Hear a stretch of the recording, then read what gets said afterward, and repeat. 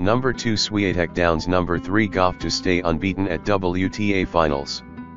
World number 2 IGA Swiatek defeated third-ranked Coco Gauff 6-0, 7-5 in a showdown of reigning Grand Slam champions on Wednesday in a group stage match at the WTA Finals. Poland's 22-year-old Swiatek, the French Open winner and a four-time Grand Slam champion, took only 89 minutes to dispatch 19-year-old American Gauff, who won the US Open last month. In the second set, obviously, it got more tight, Swiatek said. I was happy I stayed focused. I had plenty of chances in her first service games to break back, but I knew somehow I would use one of those chances. The victory also boosted Swiatek's chances to overtake Australian Open champion Aryna Sabalenka for the year-end world number 1 ranking at the season-ending outdoor hardcourt event in Mexico. Tunisia's Ons Jabeur beat Wimbledon champion Marketa Vondrousova of the Czech Republic 6-4, 6-3 in a rematch of the Wimbledon final in the night's other group stage match. The result meant Swiatek has not clinched a semi-final berth despite her 2-0 start.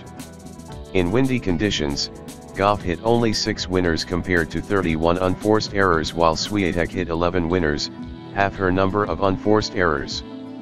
I would say this match wasn't consistent, in terms of the level, Swiatek said. So for sure adjusting to everything that happened was the most important thing. Swiatek, a three-time Roland Garros champion and last year's US Open winner, improved to 9-1 all-time against Gauff, whose only triumph in the rivalry came in August Cincinnati semifinals ahead of her first major title at New York. Swiatek, the 2022 year-end number 1, also beat Gauff in their most recent prior meeting last month at a Beijing semifinal but the US teen was nursing a right shoulder injury. Gauff could not become the first teen to win multiple matches at a WTA final since Serbian Ana Ivanovic in 2007.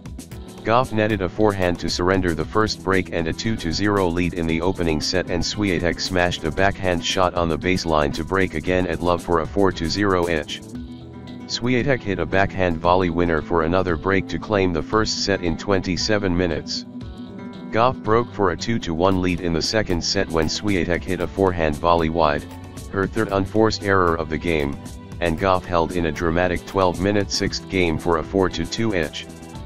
Serving for the set, however, Gauff made four double faults in a row and was broken to 5-5, then broken again by Swiatek in the final game, netting a forehand volley on the final point.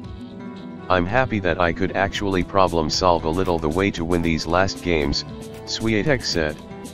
The key was maybe being confident and mentally not focusing on the score, but really just sticking with the plan that worked in the first set. Sabalenka must defeat Elena Rybakina of Kazakhstan on Thursday in a group stage rematch of January's Australian Open final to qualify for Saturday's semi-finals. Sabalenka would clinch the year-end top spot by reaching Sunday's final.